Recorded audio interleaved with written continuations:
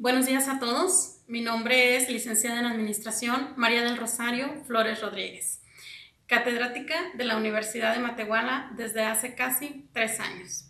En este cuatrimestre estaré trabajando con la licenciatura en Nutrición, a cargo de la materia Metodología de la Investigación 1 en cuarto cuatrimestre. Una materia de gran interés para los jóvenes, ya que se pretende formarlos como verdaderos investigadores Em, de tal manera que ellos tengan en su pensar el resolver eh, preguntas de gran interés para ellos o bien darle solución a problemas de los diversos ámbitos de la vida cotidiana.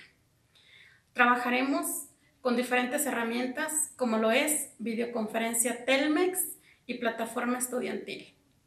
Cualquier cosa, cualquier duda, quedo a sus órdenes. Sean todos bienvenidos y mucho éxito.